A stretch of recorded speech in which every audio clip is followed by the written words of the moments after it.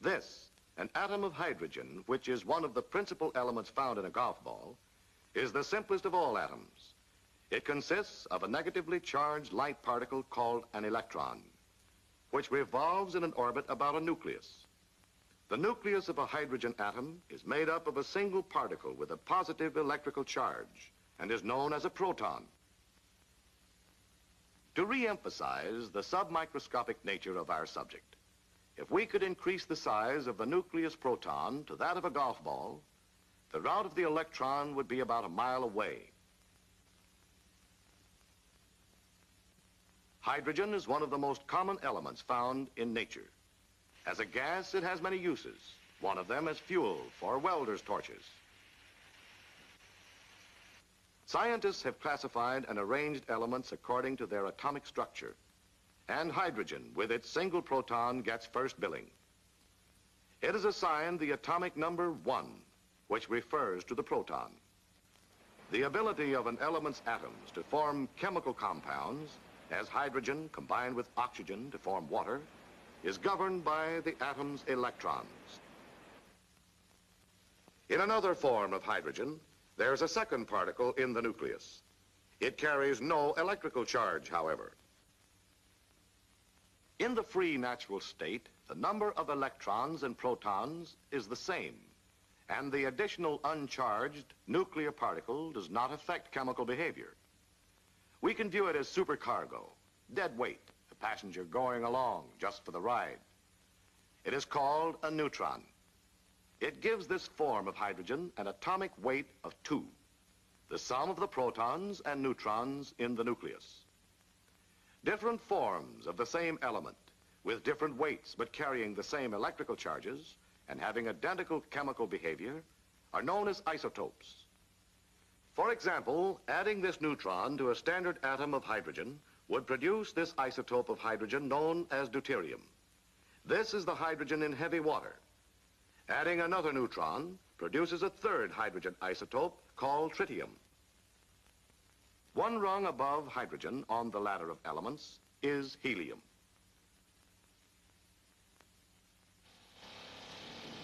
One of the uses for helium you're probably familiar with is in lighter-than aircraft. A helium atom has two electrons and a nucleus composed of two protons plus two neutrons. So helium has the atomic number 2, same as the protons which it possesses and an atomic weight of 4, its protons plus neutrons. Going up the ladder, we find elements with atoms that become progressively complicated, with more electrons and increased numbers of protons and neutrons in their nuclei. For example, a neutral carbon atom with an atomic number of 6 has 6 electrons. In the nucleus are 6 protons plus 6 neutrons, so the atomic weight is 12. Carbon exists in many forms, high and humble, as diamonds and pencil points.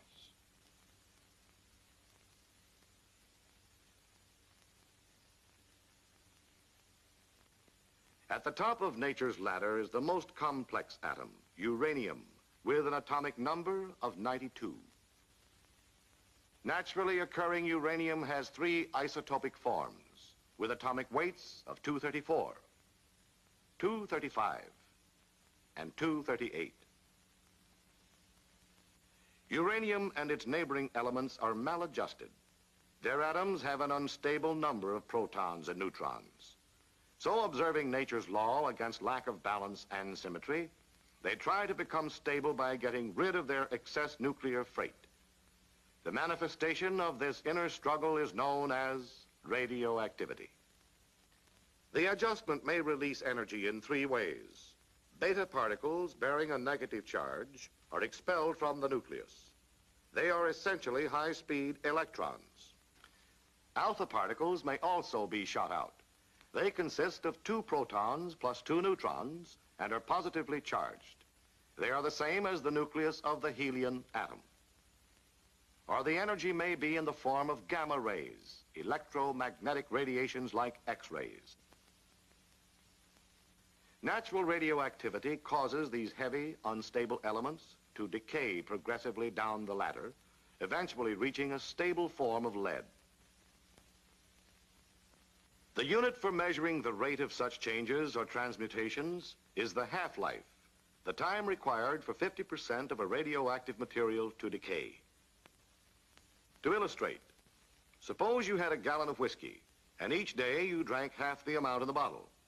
The first day you drink half a gallon, and the whiskey's half-life would be one day. The second day, assuming for the sake of science you'd be able to sit up and take it, you'd knock off 50% of the remainder, or one quart. The third day a pint, and so on. But you'd never quite get to the bottom of the bottle. There'd always be a half remaining. The fact that some radioactive matter always remains is not so important as the time required for the half to decay. Half-life varies from isotope to isotope. It takes 4 billion 500 million years for half a hunk of uranium-238 to become thorium-234. The half-life of radium-226 is 1,600 years. That of radon is slightly less than four days, while others have half-lives of fractions of a second. So far, we've been watching natural radioactivity. Man has stepped into the act, however, and in some cases outdone nature. Using as his guns cyclotrons and other accelerators, and employing hydrogen and helium nuclei, neutrons, protons, electrons, and other minute bullets, he has made stable matter unstable, produced radioactive isotopes of many elements. He transmutes lithium into helium with a hydrogen nucleus as the projectile. By striking the nucleus of a chromium atom with a helium nucleus, he changes it into radioactive manganese with the emission of a proton. Manganese in turn decays to iron with the emission of a beta particle and gamma ray.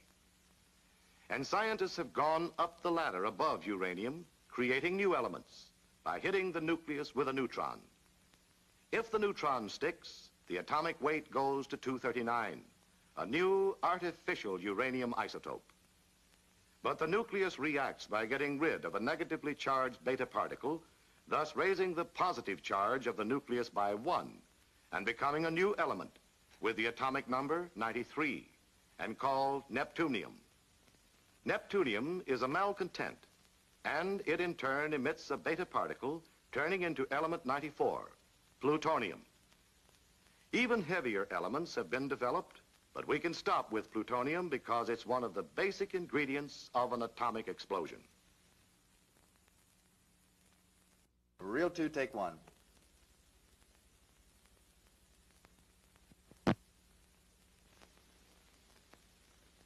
In trying to bring about such an explosion, scientists had two recipes, two blueprints to follow. The first called for nuclear fusion. To illustrate, here are four hydrogen atoms. If fused, brought together under proper conditions, they form one helium atom. But a loss of weight occurs during the process. In other words, the parts are heavier than the whole.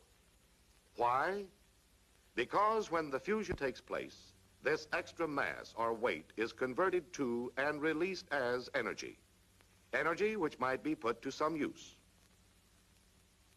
The sun has the key to this combination. It is continually converting hydrogen into helium and sending the resulting energy earthward. That's the principle which might make a hydrogen bomb work. But to the scientists who wanted a quick solution, releasing a piece of the sun on Earth for a moment of devastation seemed a bit impractical. So they went to the upper end of the ladder and set about getting atomic power through the reverse of fusion by breaking heavy elements into lighter ones by a process called fission. Like this. When hit by a neutron traveling at a certain speed, the nucleus of a uranium-235 atom breaks up into two much lighter elements with a tremendous release of energy from that which held the tightly packed nucleus together, like this. While it seems inconsistent that both building up and breaking down of atoms releases energy, this is only possible at the far ends of our ladder of elements, where fusion produces energy through the combination of the lightest elements and fission splits only the heaviest. The products of fission and fusion tend toward the middle of the ladder. In the case of fission, the possibilities seemed immense and workable.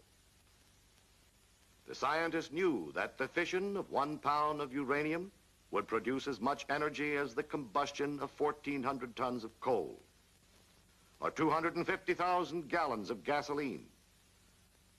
The question was how to do it. How to produce the breaking up of the millions of atoms in a comparatively massive hunk of uranium and do it instantaneously so that instead of a gradual release of smooth power as demonstrated by a moving locomotive, the energy would be built up then let loose in a violent explosion. A path was indicated by the fact that fission of a uranium-235 nucleus by one neutron creates, in addition to the fission products and energy, two or three new neutrons. Perhaps these neutrons could be put to work in developing a chain reaction. This is an example of a chain reaction sustaining itself. This is one that builds up to a big finish. If several neutrons could be produced in a single fission of a uranium atom, and these neutrons in turn could be used for further fissions, then a chain reaction would be developed, which would reach a colossal climax. The energy liberated by each fission step would be let loose in a mighty explosion. They knew that uranium-235 was good fissionable material. They also knew it was scarce. One part in 140 of natural uranium is 235. An insignificant amount is 234, and the rest is 238, which wasn't a suitable ingredient.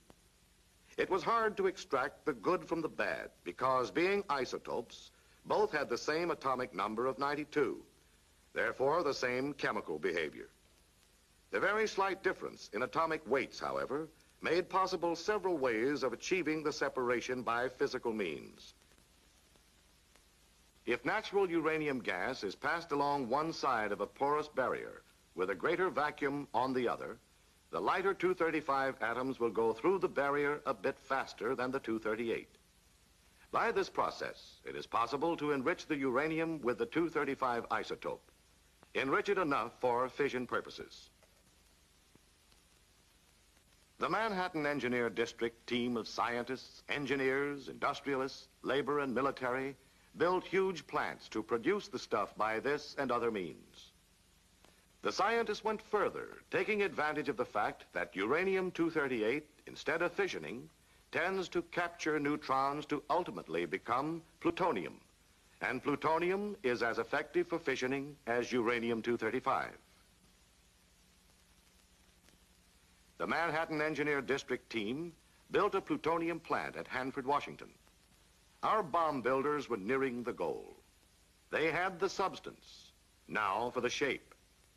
This isn't it. And the reasons become obvious when we hit the block with a neutron and follow the careers of the three neutrons we assume are formed by the initial atom split. This neutron enters a nucleus without causing fission. It's captured. It's a dud. These two escape. This is then a hunk of fissionable material in which the neutrons accomplish nothing, and in which a chain reaction can't even get started. It's called a subcritical mass. The problem of the scientists became clear, to make fullest use of all neutrons produced in a single fission. A big step toward their goal was to prevent the escape of the neutrons. Here, one of three neutrons makes good fissioning another atom and starting a chain. Our material is now called a critical mass. This would be fine for an atomic power plant, but it isn't enough for an explosion. To get that, we must keep the birth rate of the neutrons well above the death rate. One neutron must produce two, two must produce four, and so on. Then we'll be in business. One way to cut down neutron loss and increase the number of fissions is to give them more working room. Yet, since we are dealing with bomb material, we must economize on size. So the best shape is a sphere, which has minimum surface area through which neutrons can escape, with maximum volume in which they can work. And we can further decrease neutron loss by covering our bomb with a special mirror, which will reflect the neutrons, turn them back into the field of play. When we get a successful chain reaction growing, we have what is called a supercritical mass. And our situation is also supercritical because we aren't ready for an explosion. We must keep our supercritical mass divided into subcritical parts until the proper time. When the explosion is desired, the parts are brought together quickly and kept together long enough for a great number of fissions to occur.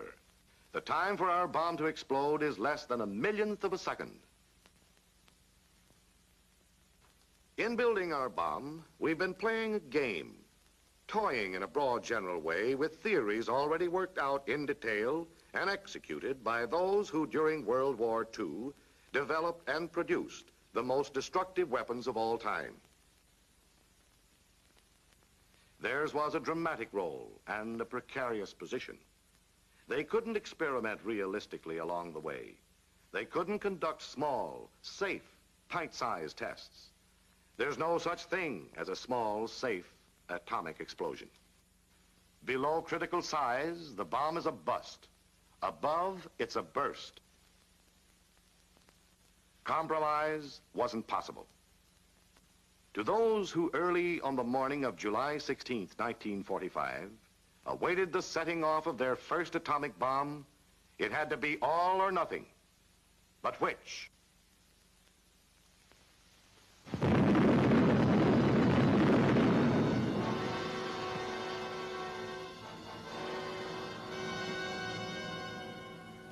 The answer left no doubts.